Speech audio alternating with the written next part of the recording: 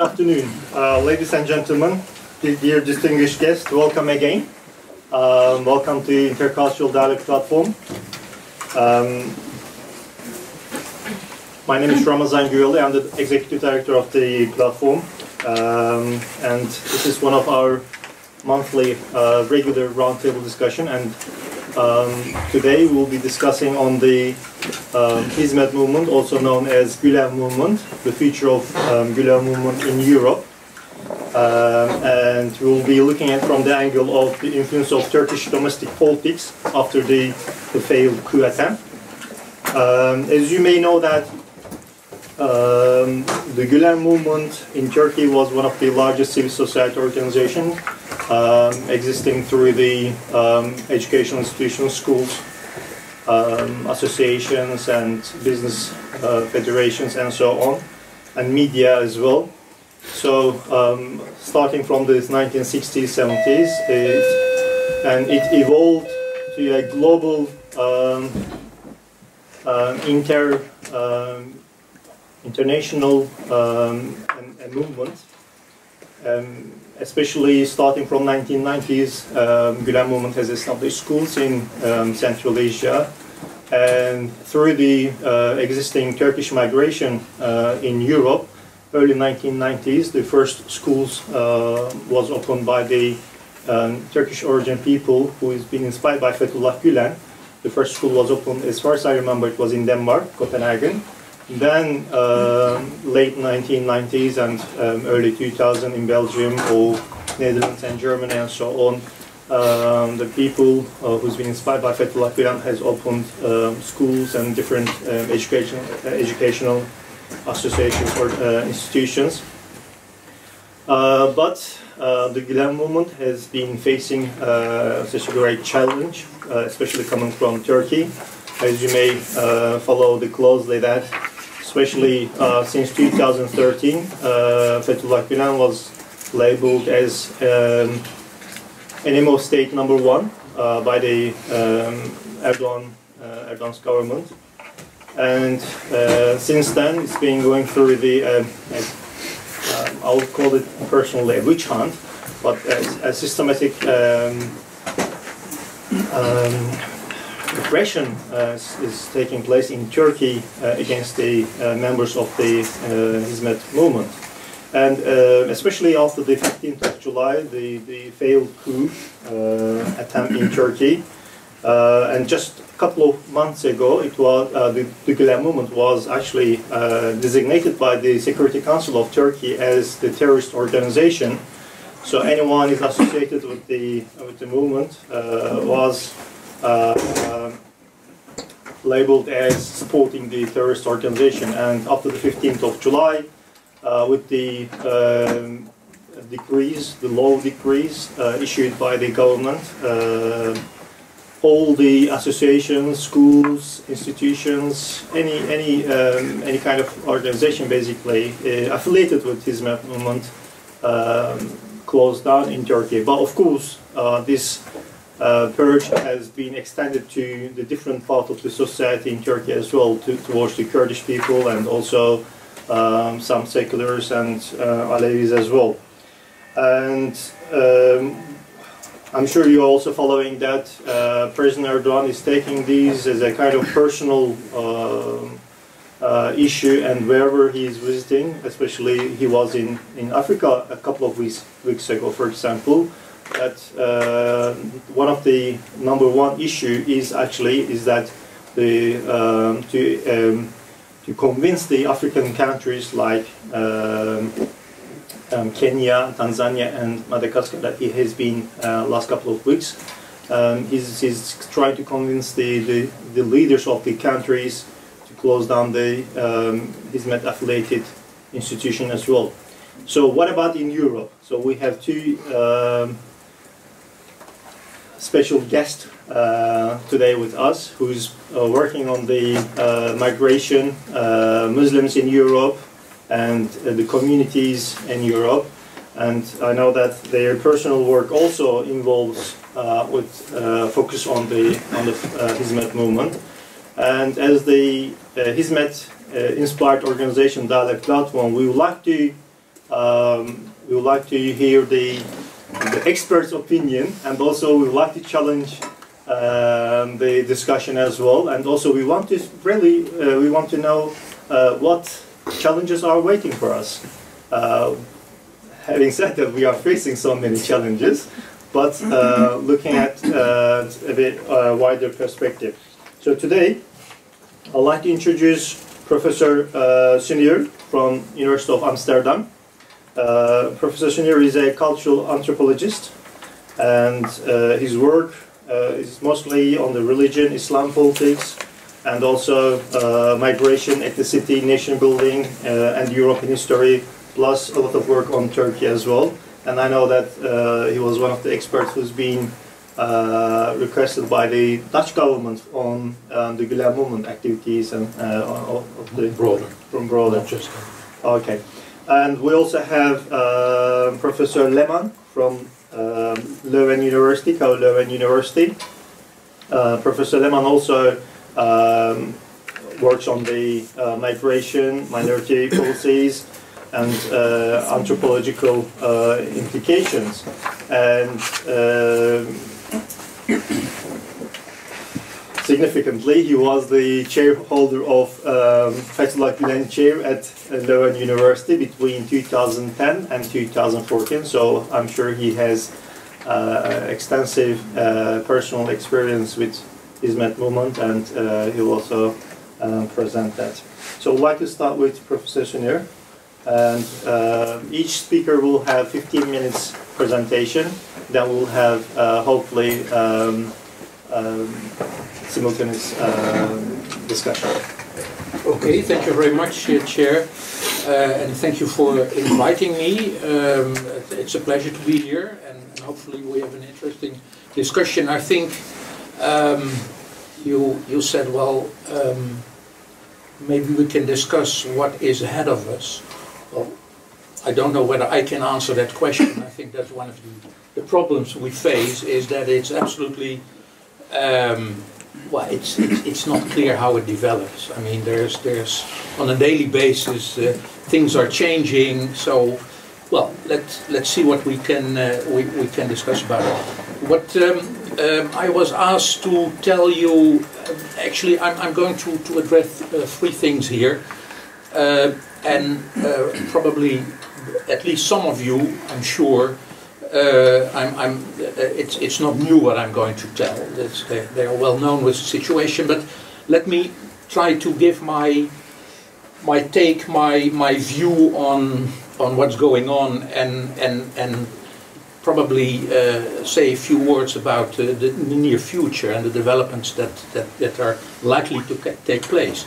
So I'm going to say a few words about the background of uh, of Hizmet. Um, then I'm going to speak about the transnational dynamics because I think that's a very important issue, especially when you deal with the influence of the, uh, uh, the, the, the current uh, Turkish government on, on, on situation here.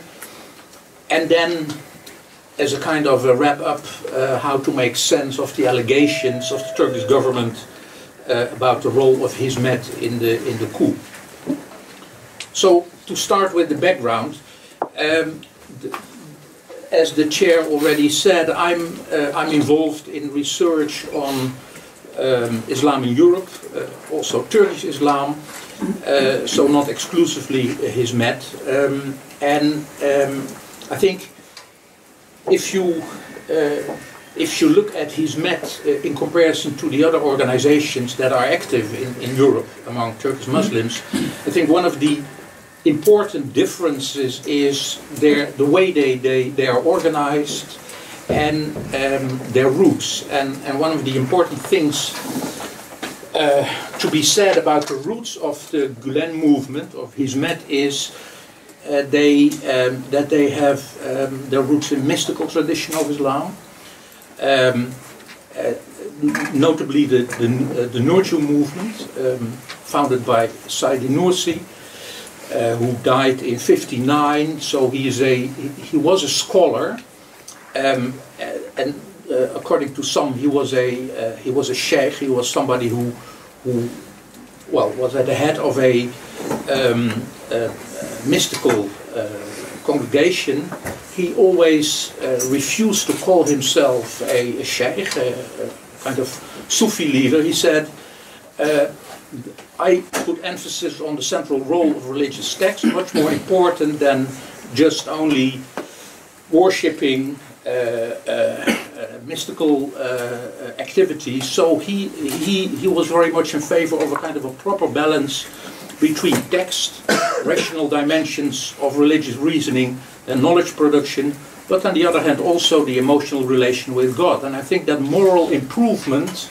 was a very central issue that he, he emphasized. Eh? Improve yourself as a, as a moral human being. And I think this is also very characteristic of, uh, as far as I know, of the Gulen movement. Uh, Gulen was he was not a proper follower of the Nur, of, of Sayyidi Nursi, but he was very much in the in the kind of in the environment. Uh, he was born in the eastern um, uh, province of Erzurum. He moved to the western part of Turkey, became an imam in Edirne and Izmir.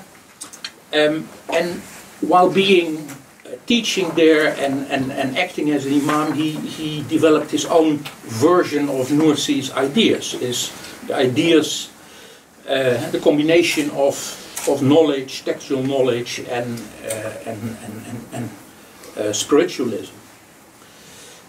And his idea was, and I think that's very important also to understand how uh, uh, the, the movement operates here, is to raise a generation of Muslims that was able, or is able, to cope with the inevitable deconfessionalization of society and to to develop an attitude. Not so much fight the system, but develop a personal attitude, a moral attitude um, uh, to, to face the problems of in the world. And I think that's a very important, still continues to be a very important aspect of the movement. Uh, so it's not, it's very much focused on, on this personal uh, uh development, this, this, this kind of moral building. What is also important is that, um, and I think that was, well, I come to that later. What is important is that um, the movement uh, uh, very much emphasized that you should not be just a religious person and focus only on religious issues, but also be successful in the world, engage very actively with the world.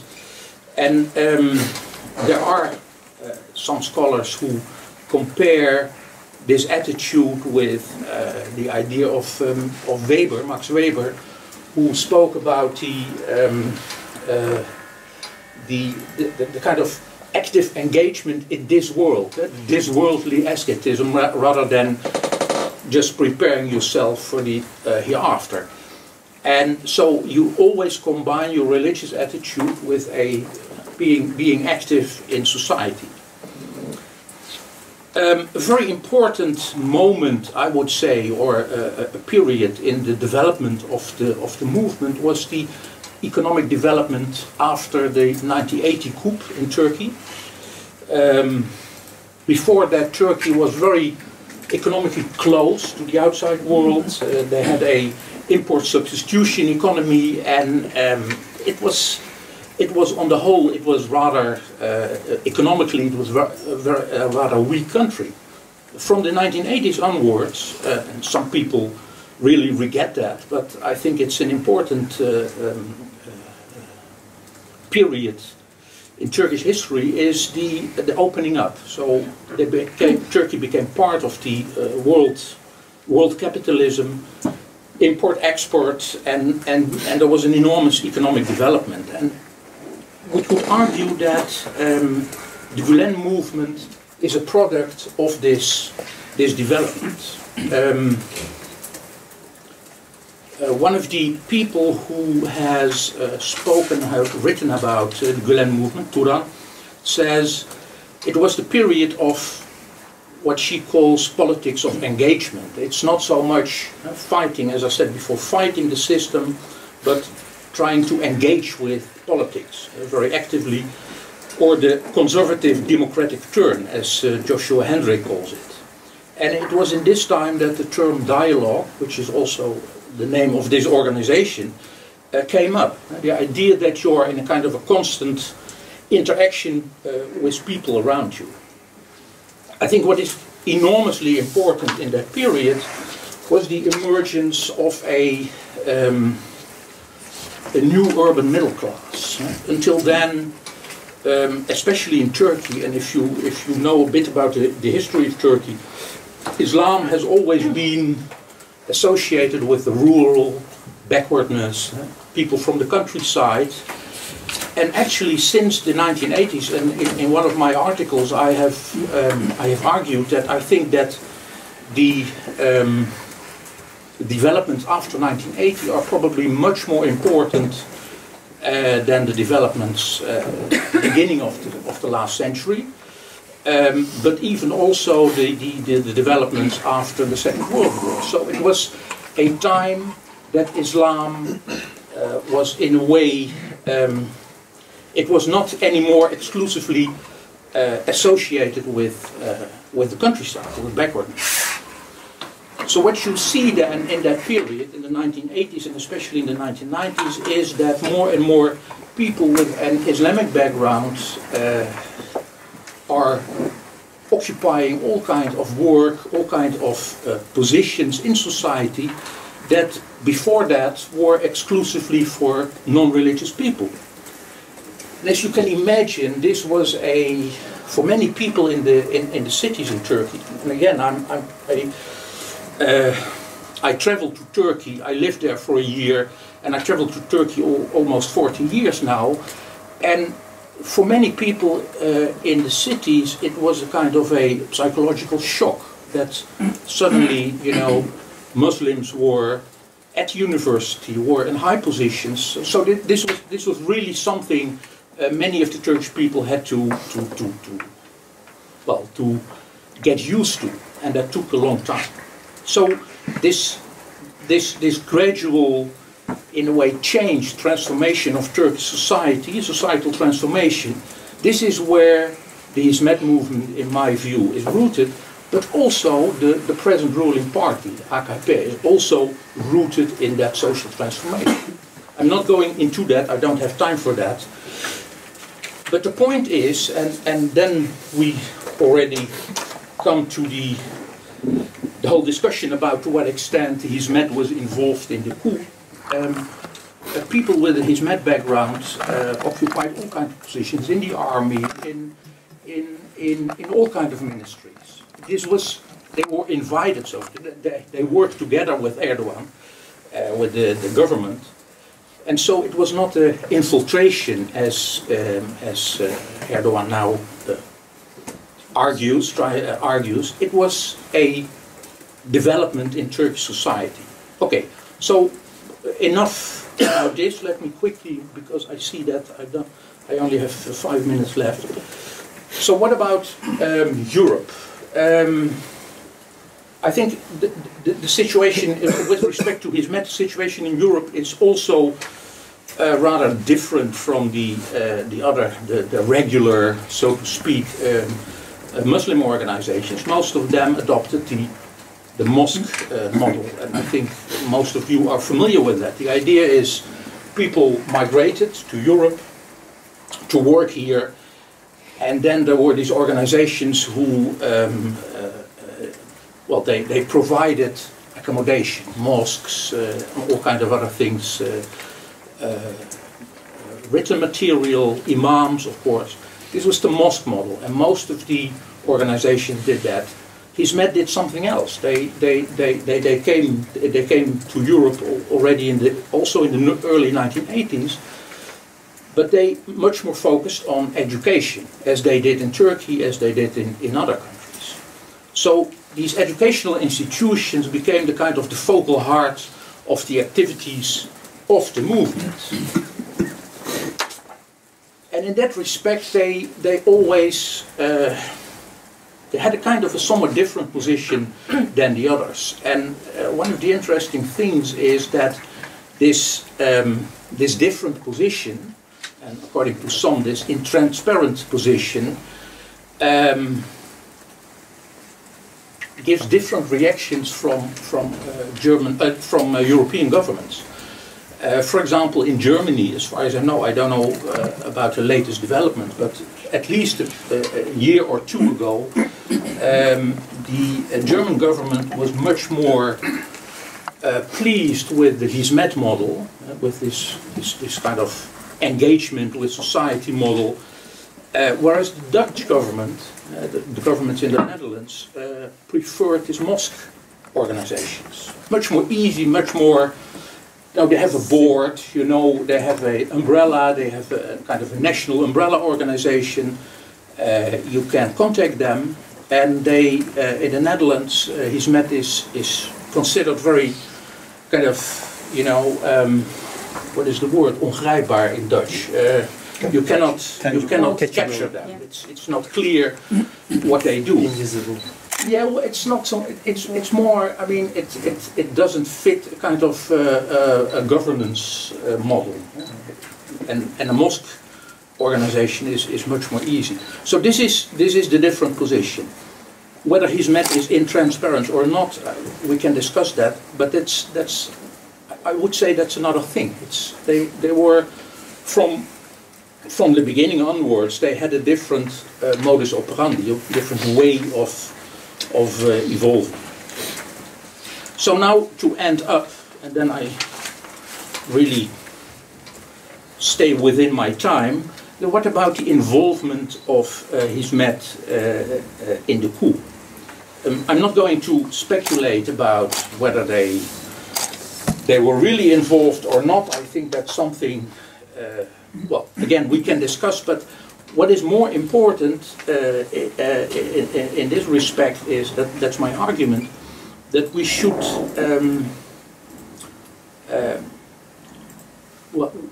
what is what is very important is that these organizations, Hizmet, but also the others, once they came to Europe, um, they in a way they, they, they developed in a completely different way as they did in Turkey. So what you see is right from the beginning, you see a kind of diversion uh, um, between the original uh, founding organization in Turkey and those that um, that settled in Europe. And I think this this kind of uh, two different dynamics is very important in understanding what is going on. Um, so what you see at the moment is that two seemingly opposing trends. Uh, if, if you look at um, the situation of Hizmet, but also other organizations, uh, and the relation with Turkey. On the one hand, as I said, the, the, the, demographic, the economic and the social transformations that has taken place among Muslims in Europe have made the situation here, uh, I would say, fundamentally different from what is what is taking place in Turkey. So,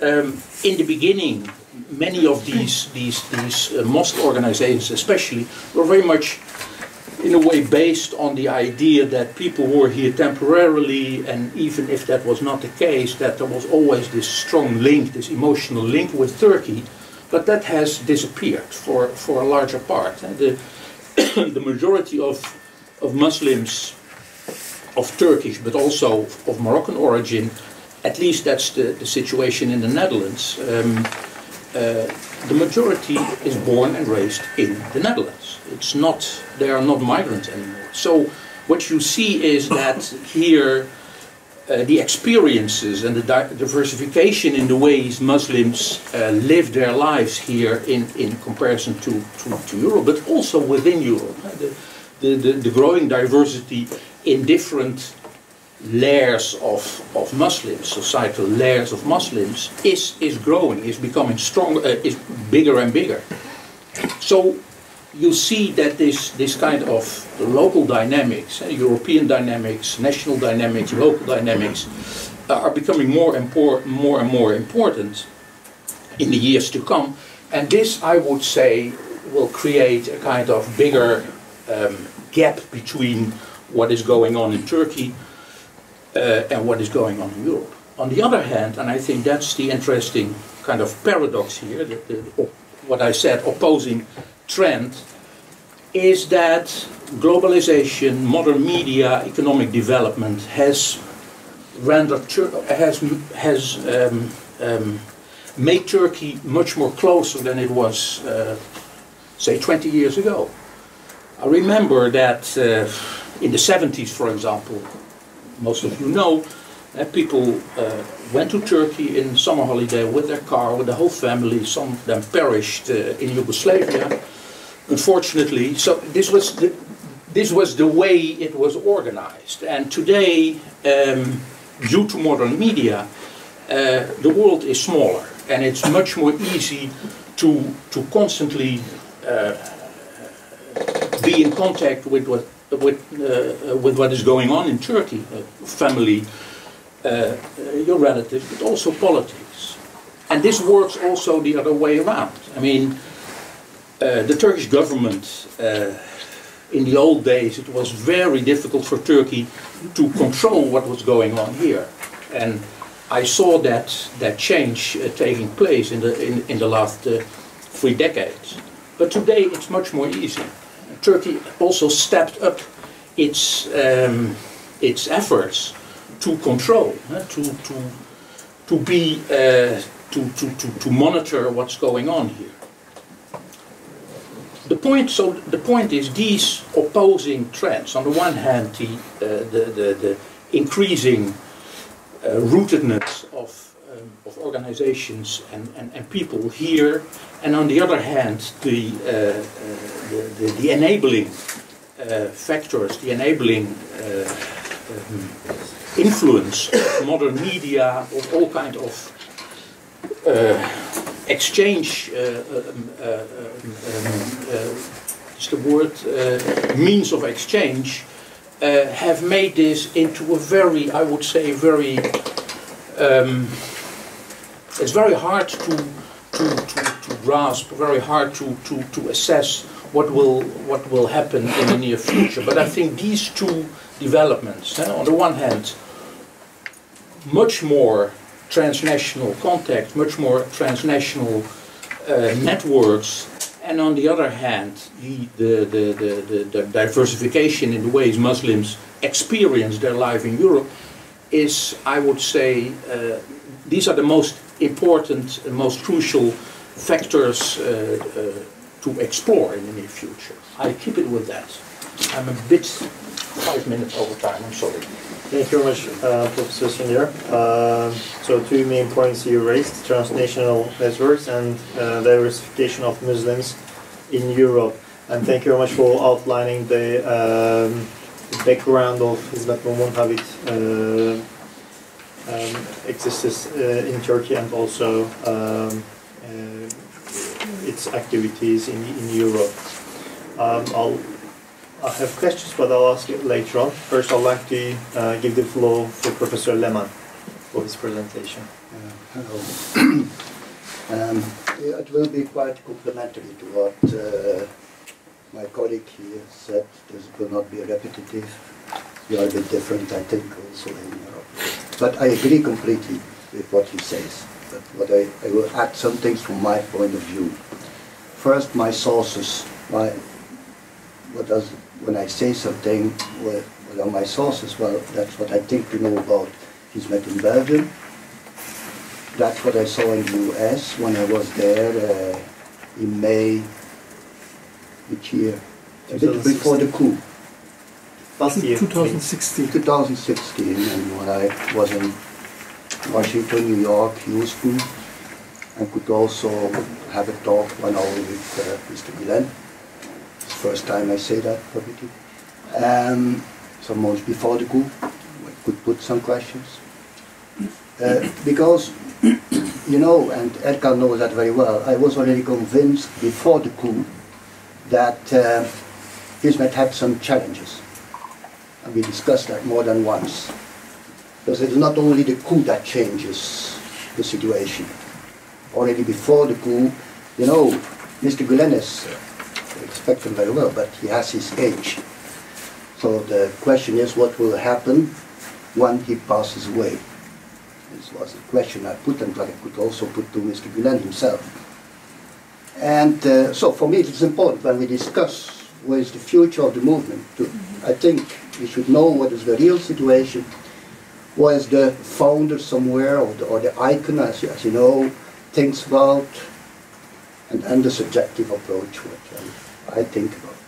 Okay. And then we I will make also a link to the, the coup. When I look to the US, and I visited also Turkey before, I saw a completely different Hizmet. I'm very short on that. What I met there, who I met there were Americans with a company culture,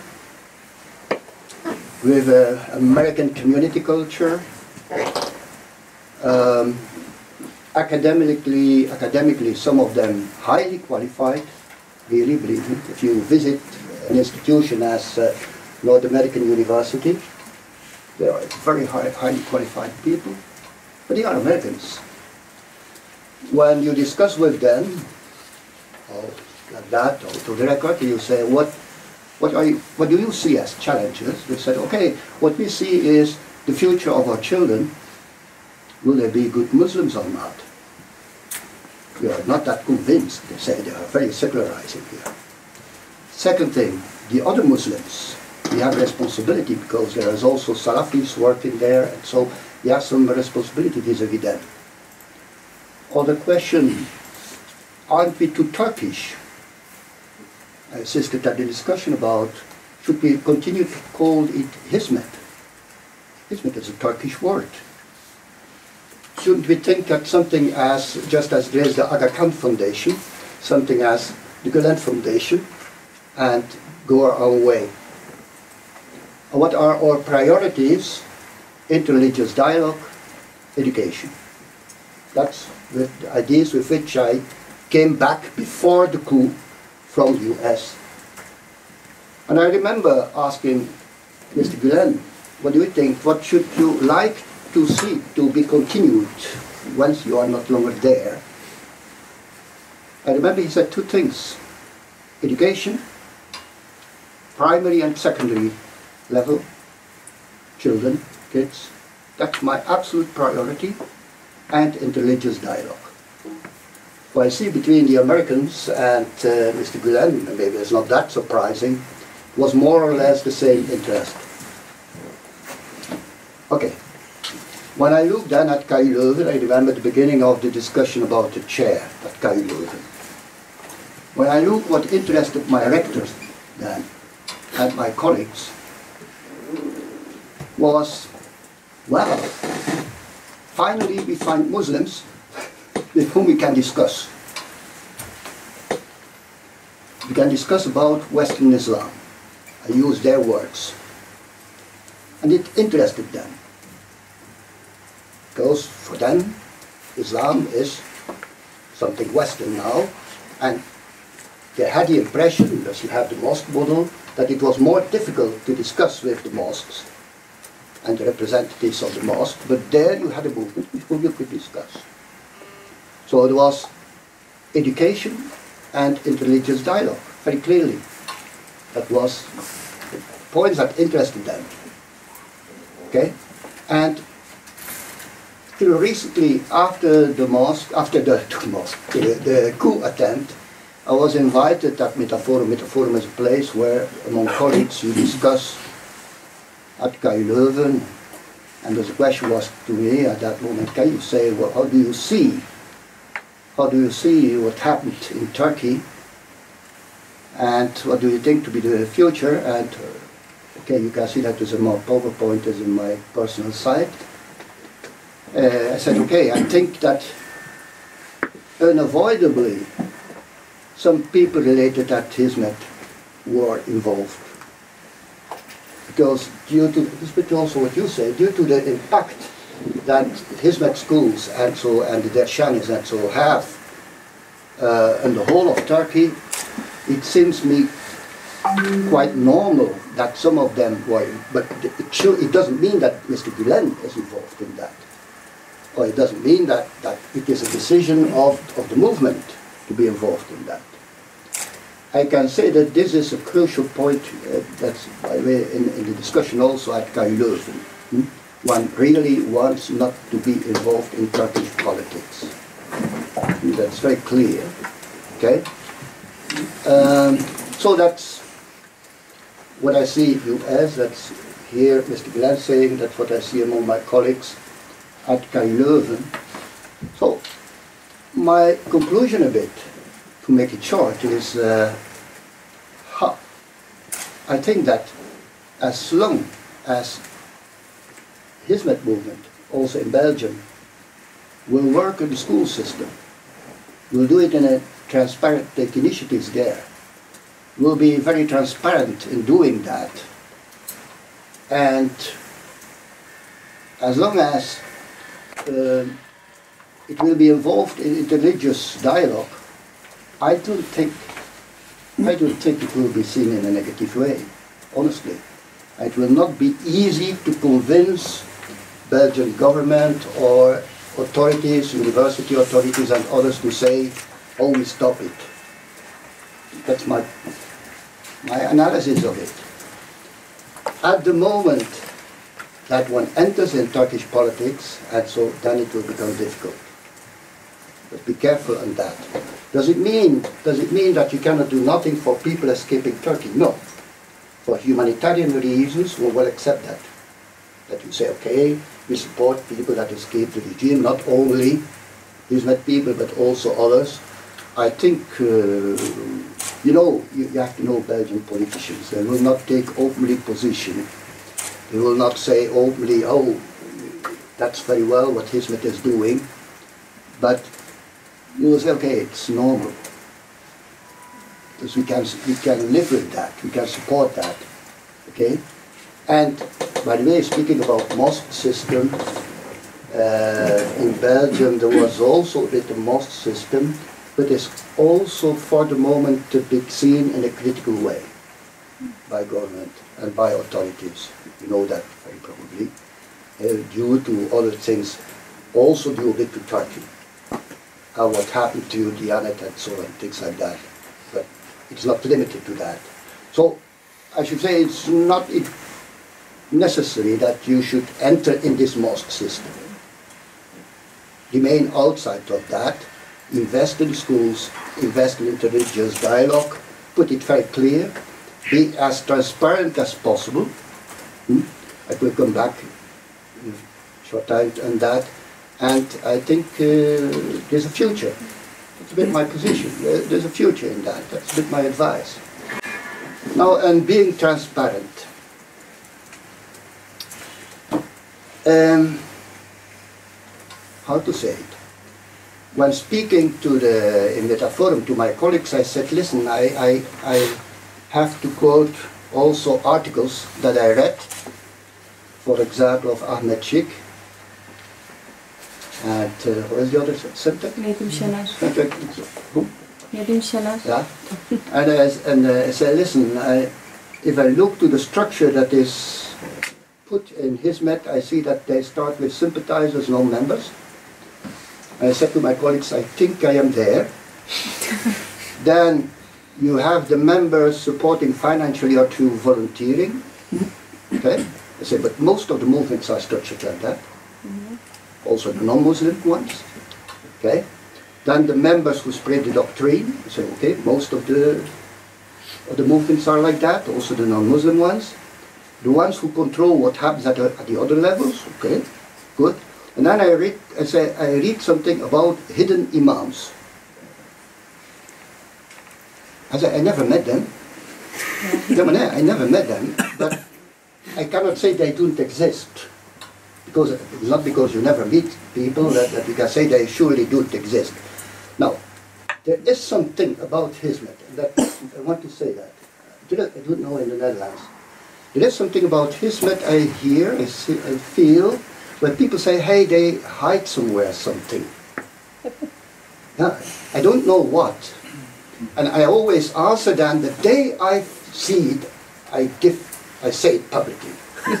I will say it openly, but till now I didn't see it. Now it's up to you, I should say people of Hizmet, to know if there is such a thing or not. And if there is such a thing, I should say stop it. Stop it because it gives the impression of something as a lodge, eh, as, a, as a don't do that. Uh, there's no reason to do that. Maybe there was a reason in Turkey, but surely here there is no reason to do that. So propose yourself as an to religion by religion inspired social movement, NGO, okay? Not too close to politics in the European context. Don't do that. And do your job. Just as Mr. Gulen says that he prefers it to do. That's investing in education and dedication. We want dedicated teachers and in interreligious dialogue. And that's for me, that's your future. That's how I see it. And uh, okay, that's it. And I will end with quoting someone on my Facebook, someone that I don't know. You know, in Facebook, most of the time you have no interesting discussions, but sometimes you have. and once I don't know one, sometimes I write something about Facebook also. And there's a guy that I don't know, certain Ogun Han Raimi, August Han Raimi, and I quote, and I find it interesting. I agree with the analysis analysis of Johan Leman, that's me. Eh? That's not why I... as a Gulen member or sympathizer, as you prefer, I see mostly differences inside the Gulen movement in different countries. From origin, I am a Turkmen from Afghanistan. I was a student in a Gulen school in Middle Asia. Afterwards, I saw the Gulen movement in the Netherlands and in the US, and lived with it. There is always some Turkish heritage, for example, Turkish tea, maklube, Turkish language, but at the same time, I see something totally opposed. The last developments in Turkey have also a positive impact. Turkey is not longer seen as something sacred in this social movement. I think that this movement will make a transformation very fast from a Turkish Islamic movement to a multi-religious world movement. I think that's true and that's the future. Thank you very much. Thank you very much, uh, Professor Leman, and Professor as well. Um, as our uh, participants are getting ready to raise their hand for the, for the first questions, can I just add a sure. small thing to what uh, Professor Leman uh, just said about this transparency? I think that, that it, it is an it, it is a an important issue to address. In the Netherlands, I, I wrote a report for the Dutch government uh, on the, the whole Turkish Islamic landscape a couple of years ago in Dutch. One of the questions was with regard to Hizmet is how many dershana, how many educational centers are there? and nobody can give the answer. And this is for, for the government, this is immediately, you know, why are they, why, why don't they want to tell us simply how many there are? If you go to a mosque organization, the umbrella, they say, well, we have uh, 45 uh, mosques in the Netherlands, uh, there, there, there, etc., etc., so many members. Why can't Hizmet do the same? And I think that's that is that that might be uh, trivial, but these kind of things are, in a way, this is what governments find very important. You know, to have the kind of control. Let's make the work yeah. easy for them. Yeah, yeah. Rather than they. Yeah.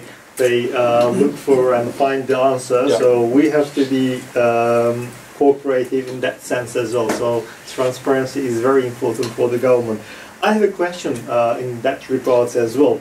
Because as uh, Oz Han in the Facebook comment uh, mentions, Hizmet exists in different countries, very different way. But there are a lot of common practices. But for example, I'll give an example as far as I know that in Netherlands, for example, in, in Holland, uh, Hizmet uh, exists through the uh, individuals. They, they have Hizmet Bewegung uh, website and each individual who is working for uh, Hizmet affiliated organization. For me, I, I call it Hizmet affiliate, but for our uh, Dutch friends, Dutch Hizmet people, they said, no, no, it's not Hizmet affiliated organization. I am Hizmet inspired. That organization is founded by the Hizmet uh, inspired people. So it's a Dutch uh, organization, Dutch school, and so on. So this is the mentality we have in, in Netherlands. And when I, I, I used to, uh, I, I spent most of my life in, in London and in England, for example. And uh, I know that our friends over there, they have established a um, um, Mentor-wise UK, which is the, the, the, uh, um, the houses that, student houses that they are managing. So they are making a much more transparent and they put, they put the curriculum, what kind of books of uh, Fethullah Gülen uh, they are um, suggesting to, to read uh, for the students and so on. So they think that this is the way. And in, in Belgium, we think that, oh, our friends, I'm sure they can give much more. They said, no, no, no, look, you know, we already have an umbrella organization, and most of Hizmet affiliated uh, organizations is through uh, that uh, umbrella organization. So those whose uh, invisible imams or adi, whatever they are called, let's put them in the picture saying that look you know they are the coordinator of uh, that area or the area coordinator of uh, that field and so on. So it's much easier for us to uh, put the full picture.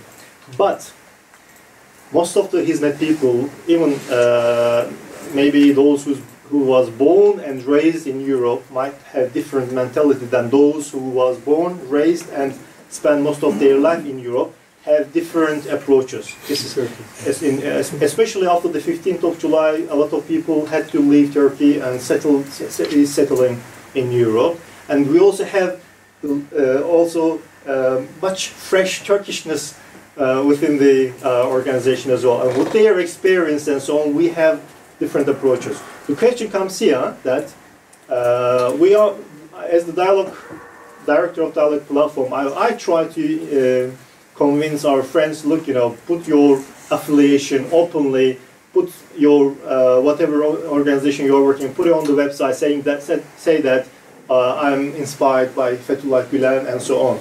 Don't be, uh, uh, don't hesitate to put such an affiliation. Uh, as a lot of European uh, friends criticize that, look, you know, we don't know uh, who are we meeting with? Um, are you a Gülenist or not, and so on. And we're coming to the point that uh, people who had this repression from the state in Turkey, especially in the past, it used to be the Kemalist state who was uh, pressurizing on the uh, Muslims not to take any kind of part in the public sphere. Now they are in a kind of position that, look, you are right. One day you will be persecuted because of your faith. And if we put our uh, affiliation with Hizmet, how can we know that it will not never happen in, in, in Europe? It will not be happening in here. On the 16th or 17th of July, some of our members wrote me an email saying that could you please uh, make sure that uh, disconnect my membership with uh, the other platform. Why? Because they feel that they will be uh, they will be targeted because of their uh, connection, their affiliation with Hizmet. So we are coming at such a crucial point. Can we? Uh, you saying that, uh, Professor Leman, you said that whatever happened in Turkey stays in Turkey. Is there a kind of uh, assurance that it will not? One day, Erdogan, President Erdogan, will convince the, the leaders of, uh, let's say, free and democratic countries, or one day we don't know if Trump-minded politicians will uh, be in charge in Belgium or in France and so on, and their mind works quite well with the uh, the current president of uh, Turkey, and make a kind of deal and um, overlook the, the, the contribution of uh, the Hizmet movement in here and label it as as Turkey labels it.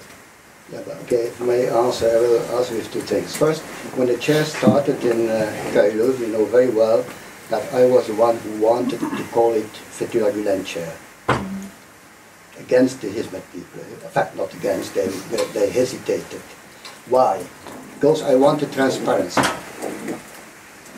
I always say it's not because uh, there is a Fethullah Gülen chair that it means that I am immediately a, uh, a militant member of Hizmet. It is not because at KU there is an InBev chair, there is also such a chair, that I am drinking continuously InBev beer. Okay? That, that is the way it works. Just, but be transparent. That, that's my, my advice. Second, we have all a responsibility in democracy. And our responsibility is to believe in the democratic values and to express that very clearly.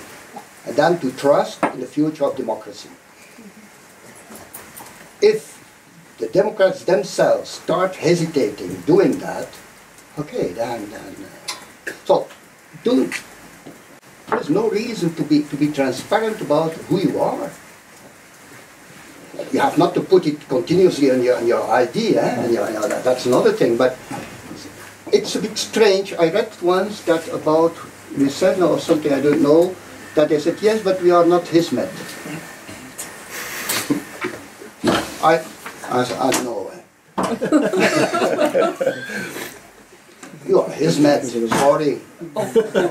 you are realizing precisely what gives as his first priority, and then you say, oh no, you are not his Hizmet. Yeah. No, no, that's true. In the Netherlands, for example, there is, uh, I don't know whether you, you know a bit of the history. We had in Amsterdam, before the Second World War, we had um, the Jewish Council.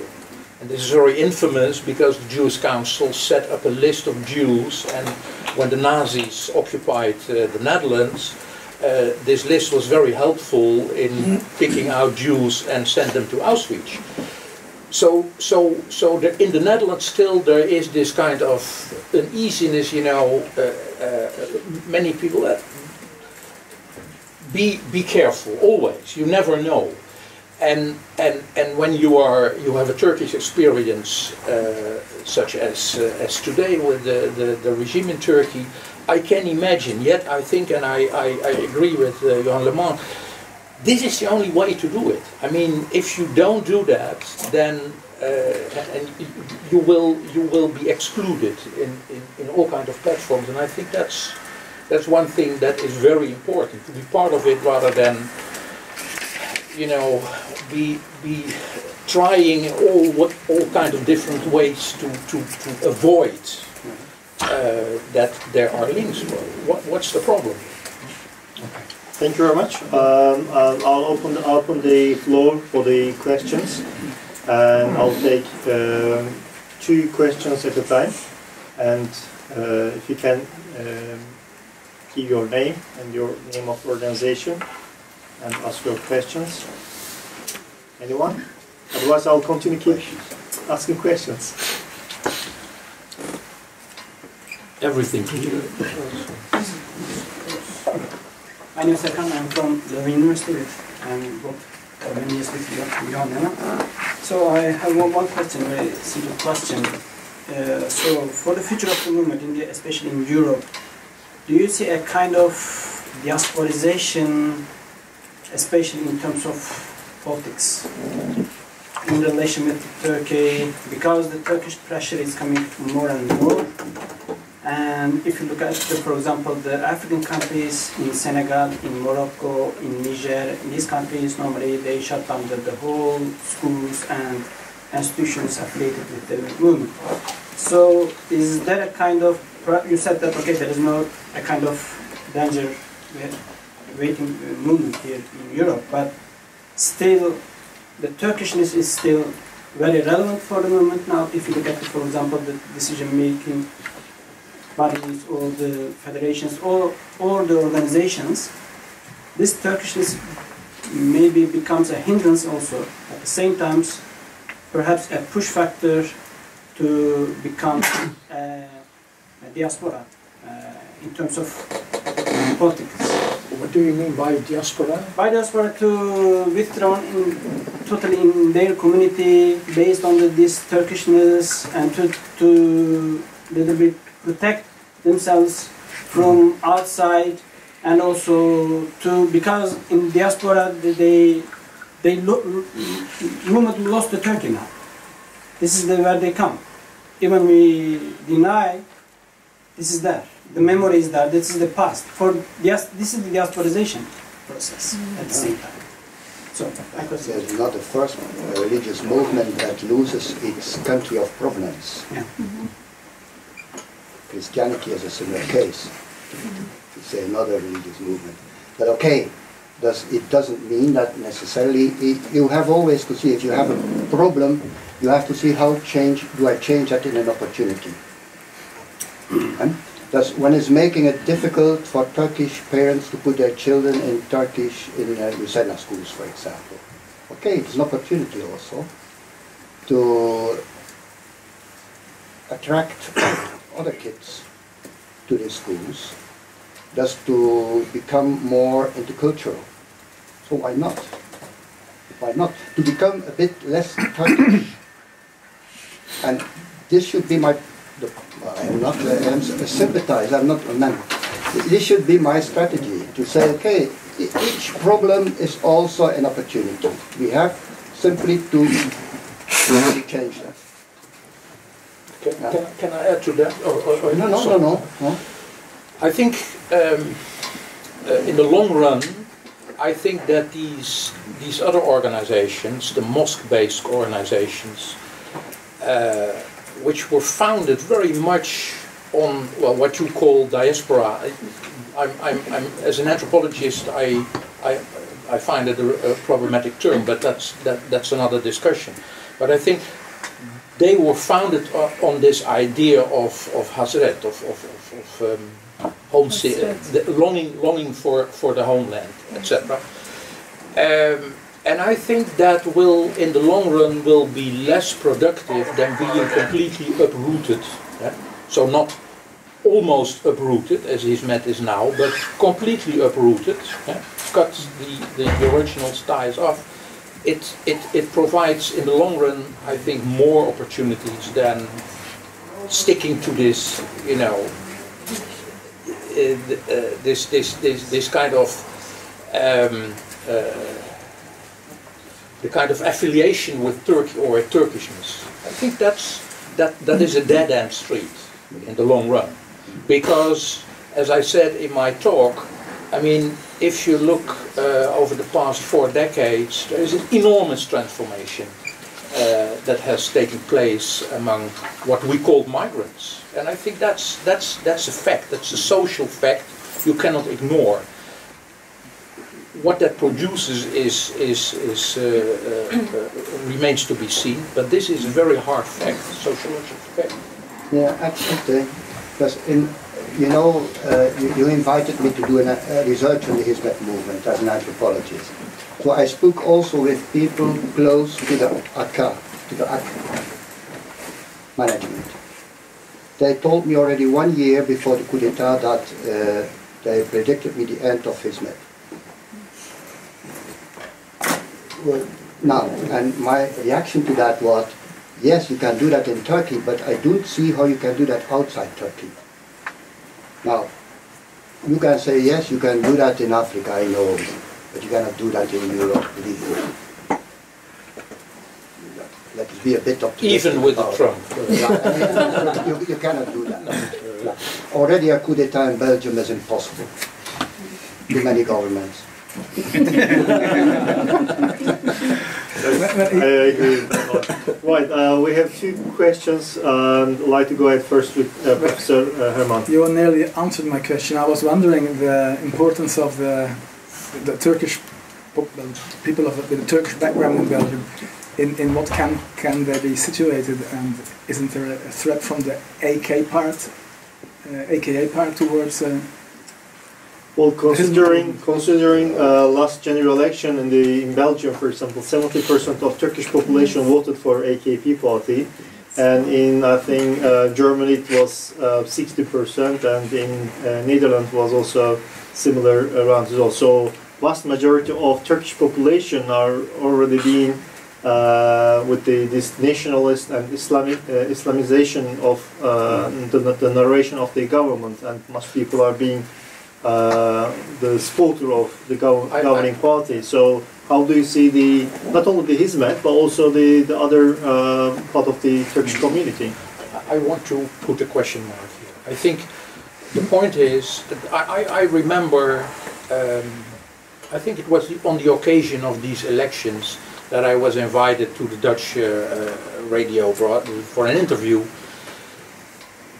And my answer was, and that's my answer here too, what does it, s- does it does this mean that all these people are uh, have based their, their, their, their, their decisions, their political decisions, on what is going on in Turkey, on the experience in Turkey? No. I mean, there is the, the, at a distance, there is a completely different voting pattern, and that's also that that that was also um, uh, confirmed by research being done in the Netherlands, short research on voting behavior, that the reason for being in favor of Erdogan is not because they they they like the program so much, but he's the guy who is in charge, who who, who dares to, to say no to the European Union, to say, you know, this is this is here in Europe much more important than in Turkey. There are other reasons in Turkey for, for, for supporting Erdogan. So I think we should be careful with considering the Turkish community in Europe and Turkey as one homogeneous, amorphous whole. I think there's mm-hmm. it's, it's, it's much more nuanced and, and, and differentiated. Yeah. Another question? Uh, hello, my name is Şerafettin Pektaş. I used to work here in IDP and now I'm working in Université Catholique de Louvain. Uh, I have two questions. First, um, recently we have um, an intelligence report leaked uh, to the European media, and the, uh, reportedly the report was uh, an intelligence report of the uh, foreign affairs of EU. And then uh, it uh, somewhere in the report, report it says that the Gulen is the master of an anti-Christian and anti-Jewish movement. Uh, so this was the indeed the, the, the two terms that is used uh, in, in quotation. Uh, uh, so my question is, uh, how do you see that, and uh, what do you think that what could be the source of such a kind of an uh, mislabeling of, of the movement? Because we know that intense dialogue has always been a priority uh, for the movement, and how uh, such a figure who was accused of being a hidden cardinal in Turkey is labeled as a kind of a, a anti-Christian person. Uh, what could be the reason for that, or for this misunderstanding? If it's a misunderstanding, if it's a misunderstanding. Secondly, uh, Professor Leman, you said that the movement, at least in Europe, should remain outside of mosques. Okay, this is a good advice. Even the movement has always been following that advice, I think. Uh, but on the other hand, uh, the Hizmet is not just a Turkish movement, but also a Muslim movement, at least an Islamically inspired movement. So, what do you think that about how the movement uh, would somehow involve in the debate on Islam uh, in Europe uh, through remaining outside of mosques and also mainly focusing on education and intense dialogue, which is basically not the core of the discussion on Islam in Europe? Would be interesting to hear his opinion also. Yeah, yeah, but- But yeah. the first thing, I think, uh, as far as I remember, the report says that uh, this uh, judgment was based on some information from some Islamologists. So my conclusion is that it is coming from some Islamologists. And in Islamology you have different Opinion. opinions. It is surely not coming from me. So it's not, it's coming from somewhere else. And I guess, at first view, I think it will be French Islamologists. Because there are schools in Is- Islamology, so I think this is more, it sounds a bit French. Okay. But I have no one precise in view. The second thing, well, there are other, don't think that you are the only ones who are meeting as Muslims outside the mosques. There are confreries, there are uh, very democratic confreries full of intellectuals here in Brussels. Believe me, that don't meet in the mosques. And that, for example, meet at Saturday evening or at Friday evening and so on and have their discussions also and also their prayers. So there, there is really also life outside the mosque. I, I say it a bit in a brutal way, but you should be surprised how many meet outside the mosque in, in a, among Moroccans, Yeah. for example, who don't find their their their way in mosques.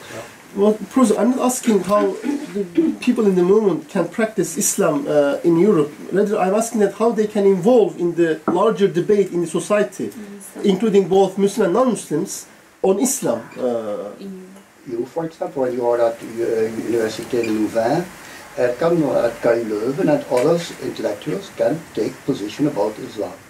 And should do that from time to time. And mm, it's not necessary. You don't think that is necessarily you should wait till the executive ca- ca- takes a position. That, that's because one, they cannot take a position because it's not a dogmatic, not a theological institute. It's very clear, it is administration. So you can take that, and uh, why not?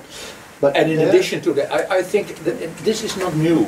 I mean, uh, what's going on, excluding certain organizations. That, I mean, this is this is as old as the history of Islam in Europe. I mean, there was always there were platforms, uh, executive boards, councils, etc., etc., and there was always politics of exclusion, inclusion, who is in, who is out, uh, Shia Muslims, yes, no, you know, uh, uh, uh, Ahmadiyya, Alevi, to, to, to people with the Turkish situation. I mean, this is this is as old as as, as Islam in Europe, uh, the, the post-World War Islam in Europe. So what I think, uh, for example, I was invited a couple of months ago, just I think it was a month or six weeks after the coup. Um, uh, for a meeting with uh, a, man, uh, most of you probably know Hakan Yavuz, who was, uh, was invited by the Dutch, the, the Council for Muslims and the government, CMO. Hizmet is not member of CMO. And the first thing I said when I was there is why are people of Hizmet not invited here? And at that time, of course, it was, I mean, it was very tensionous, and, and, and, and many people there were convinced that, uh, that Gulen was behind uh, uh, the coup, etc., etc. But in the end, I think it, it, it, this is, again, this is also a dead-end street. If you, if you exclude, then you will, you will exclude a lot of people. How to do that? Well, that's, that, that's a long way to go, but it should be done, and I think what you have to, to, to, to keep in mind is that what I said in my talk, uh, European governments have this very specific kind of governance model they adopt. Well, when we have to do, for example, in the Netherlands, when we have to do with Muslims in the Netherlands, we immediately think about the pillar system, the, the old pillar system. That's the kind of reflex that immediately comes up. And what is a pillar? That is a very clear structure with leaders, uh, the elite at the top, and then the members, and all the members are uh, uh, obedient to the, to, to the leadership, and the leadership is sitting with other leaders, and they are uh, smoking cigars and making decisions about uh, the national politics. This kind of model is still, many, many politicians think in that way. This means that if you are in that in, in such a council, then the, the first question that is asked you is, how many people do you represent?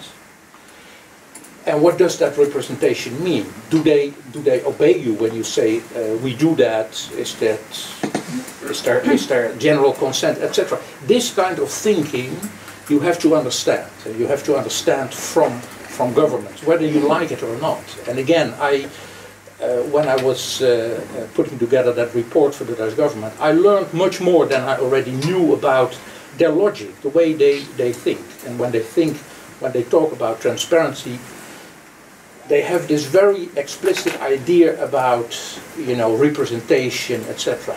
Me, as, a, as, a, as an academic, um, I say, well, it's, it's, much, it, it's a much bigger mess than you think. Muslims are normal human beings like any other. And they also make mess you know they they they they do all kind of things that that cannot be neatly fit into into all kind of models. That's the way it works and i think it's important to in a way understand that game whether you like it or not. And that's that's that. Isn't it also the case that uh, from, from, from the Western point of view, people are not interested in, in, in engaging in a, in a religious dialogue. Yeah, but at the same time, I mean, uh, whether we like it or not, there are Muslims in Europe. I mean, it's, That, that's true, but uh, I wonder if uh, these Muslims should be approached as, as, as human beings yeah, and Well, not, with, not, not with this label of, of, of Muslim. Yeah. And, and isn't the, the, the really wanting to, to channel it through religion making things more difficult than. Uh, yeah. Well, that's that's according to to, to, to, to a number of people. That's that's indeed the case. But yeah, But don't, listen, I, I'm living in Brussels. I can only say that in big, large cities, to say that there is no religion, believe me, that's not true. When I look at my street and I, see- I see a Romanian church with thousand evangelicals, I see Pentecostal church, I see uh, a mosque. I, listen, it's, uh, the cities uh, where new migrants are coming, continuously coming, really religion Exists. is yes, but I never said there's Is no there. religion. Maybe it is not there in, in Flanders, in the villages, Mm-hmm. but it is in the cities today. it should That's not be an organizational basis. That's what That's you. what That's another thing. Yeah, that's yeah. my question. Another thing. That's my Yeah, question. Before I take the next questions, uh, I'd like to uh, ask uh, another question, professors.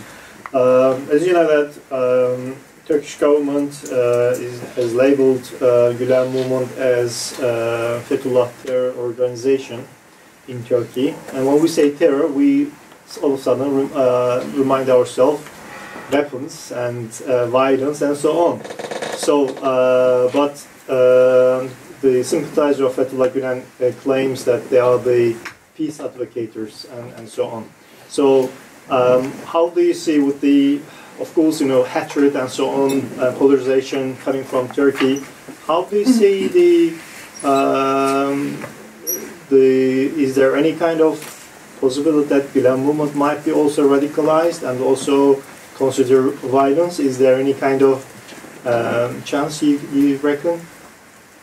Because at the end, it's a terrorist organization uh, for, You the, for uh, one of the, the EU candidate country.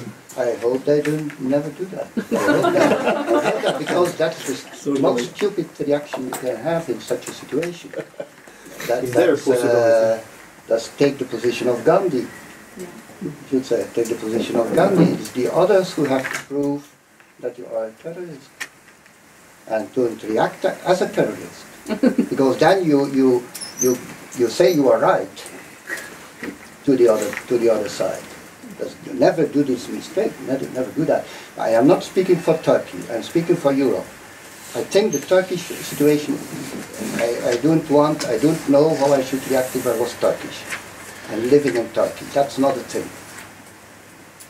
And it's not for lack of loyalty vis-à-vis these people. But don't bring the Turkish situation outside Turkey. Exactly. Don't do that. If Turkish people themselves think they should take some initiatives, who I am and I to say you can't do that. That's not a thing. But for me, that's a democratic discussion to be held in Turkey itself. And I don't know how I should react if I stayed there. My advice should be hold you out of this debate. But if people escape, not only people, Gülenists as they call them, also others, try to, to, to be helpful, to support, without supporting terrorism or, or violence. I asked this question, but I'd like to uh, inform you that in Germany, um, a few businessmen who uh, supported the Gülen movement, financially and so on, they've been labeled by the one of the pro-Erdogan newspapers, Sabah Daily in Germany, saying that these people are uh, terrorist, uh, terrorist uh, organization members and so on. And those people um took the newspaper to the court and German court fined the pro Erdogan Daily for calling Hizmet movement as terrorists. So this is, I think, the way that we should react for those who's calling uh, the Hizmet people as, as terrorists in Europe as well. You know that I took position here when someone called you fitness or witness. I, uh, on my Facebook, Okay, um, next question. Actually, I want to go further in that point because you said also before that we should not engage with Turkish politics, and that could uh, have a negative impact on how the movement is perceived in Europe. But eventually, um, the Gulen movement is in a conflict and is part of a conflict. And this conflict is not only in Turkey; it's also happening here because there is a lot of Turkish diaspora in living in, in Belgium, in Germany, and the Turkish government is using those transnational ties and is influencing them, is also encouraging them to bring that fight over to here. Whether we like it or not, we're also perceived as a part of this conflict, as a part that imports a conflict to a country. And nobody, no government likes that. So how can we find a balance? Other, like on the one hand, uh, you want to show solidarity the people living in Turkey. Also, maybe they expect some kind of help uh, from people outside of Turkey. But on the other hand, saying, okay, we don't want to be involved with the Turkish affairs, with Turkish politics. How do you have to find a balance? Because it's very difficult in practice. If your school is being attacked, if your institution is being attacked, how can you say, oh, no, we don't involve with Turkish affairs? We do our business. Right, another question? We'll keep that one. Yeah, I would like to raise also. Yes, please. And your Yeah, name? my name is Marco Schwarz. I work for Political Foundation here in Brussels, the Friedrich Ebert Stiftung. I also was wondering also about some aspects you touched upon. And I mean, uh, you let me know one critical question at least about this collaboration between the AKP party along for long years and the movement. And also, I mean, since we're talking about the influence of the movement in politics, and there is a certain influence, or maybe it was, so let's see. So, well, I'm, since I'm not an expert on the movement, could you elaborate some a bit on, on this, how this um, evolved, this cooperation, and also how they, from the left liberal side, also try to press liberal judges, advocates, and journalists, and this happened also, and this is also part of the history. So, how, how can, can we? Well, what I together. what I understood from from uh, from Hizmet people in the Netherlands I spoke with is is and many of you here present will know better than I do is there's a, there's a debate going on and according to some people the Turkish branch of Hizmet has made dirty hands you know by being so involved in Turkish politics. The, the, the, the, the- point, however, is um, the fact that there are so many, there were so many people with a Hizmet background in the Turkish state is not, as I said in my talk, infiltration. This is, this was corporate. I mean, they, they, they had the capacity to do those jobs. I mean, there was a, there was a, there, there was an enormous change in the whole apparatus of the Turkish state in the last 15, 16 years. This is very important. This is very important, and that, that also harks back to what I said about the, the economic uh, opening up from the 1980s. So Turkey underwent an enormous transformation in the last three decades. So th- this is very important. That's one. And Hizmet was in Turkey was part of that. I mean, that's that's not. I mean, th- this is not kind of uh, uh, secret operation. This was just. This was how it. At the moment, there was a clash between Erdogan and Gulen in uh, 2013 for all kind of reasons. I'm not going into that. You see that the whole the, whole picture, the whole picture that is present that was presented in Turkey changed. And then suddenly, all of a sudden, you know, being just part of the state apparatus, as uh, I mean, many employees uh, in in all states uh, around the world, they they are part of the system. And then what happens is that if there is a coup d'état, if there is a there is an attempt to take over, and say, well, we have nothing to do with that. I think that's that's awkward. I mean, of course, but not because you you you you orchestrated that, because you were part of that apparatus. And and I know from many people of his Hizmet, they they they well, we have to face that. The the the, the movement made dirty hands, and that's that's also the reason why I, I very much agree uh, that um, I think for the future here, uh, Hizmet in Europe, they should go their own way. They should should really say, well, this is what we do here.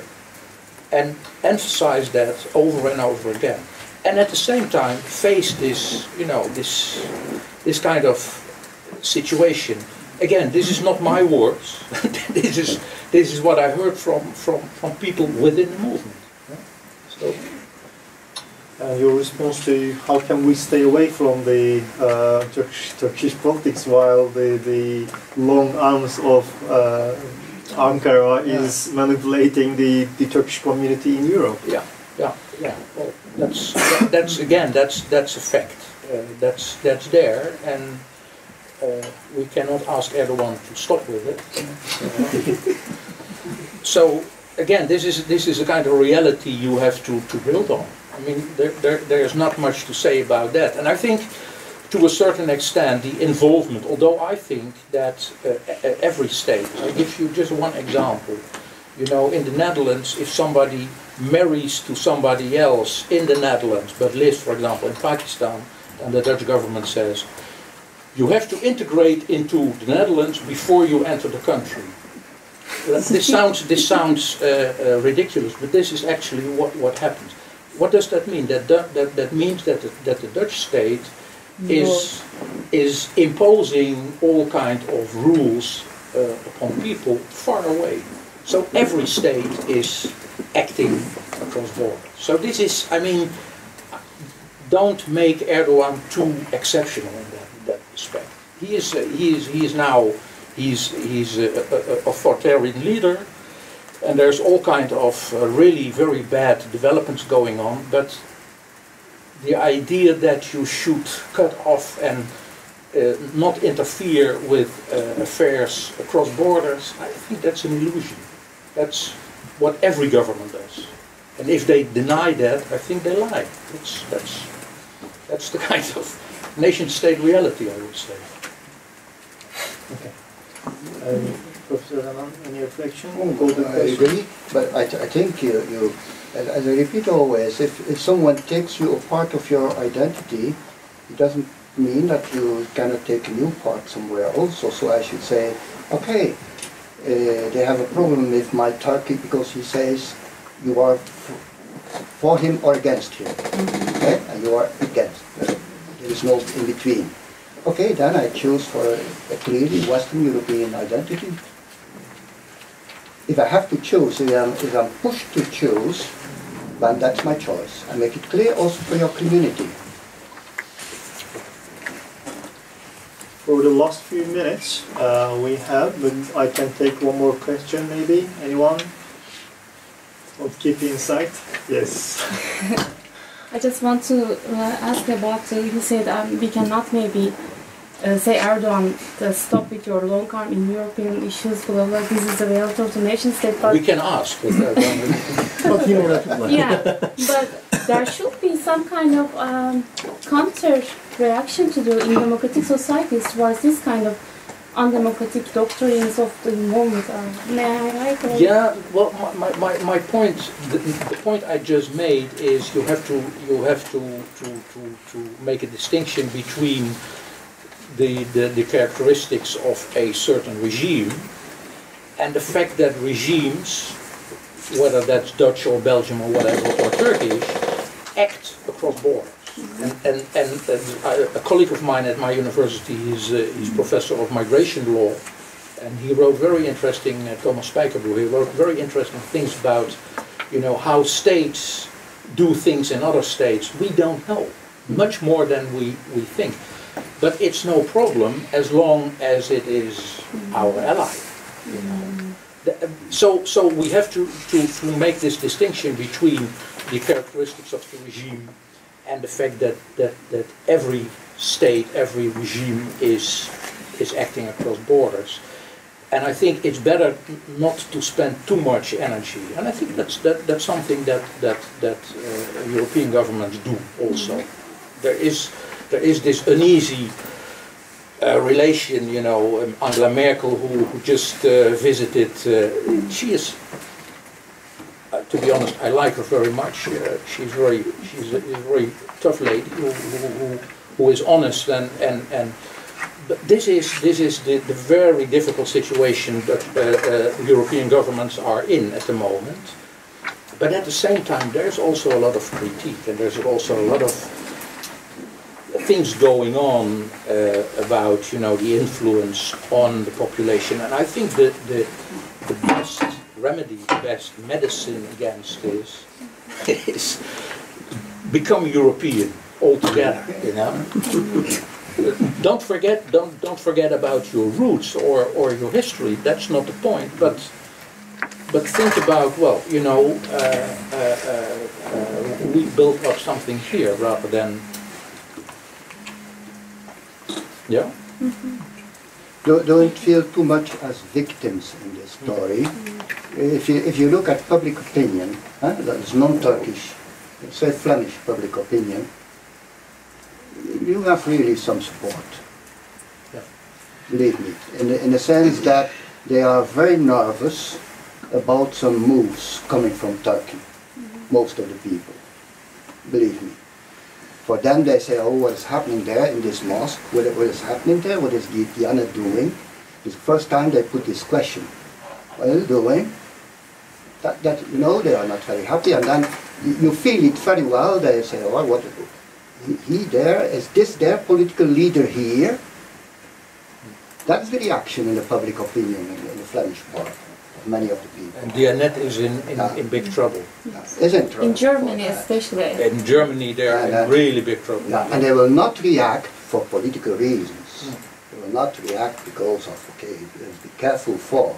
But believe me, the, the sympathy is not uh, going like that completely there. Eh? Uh, and it's up to you to say, okay, that will be our profile. European, Western Islam, interreligious dialogue, education. So, As a strategy, I mean, we're not uh, speaking about, you know, your personal emotional attachment.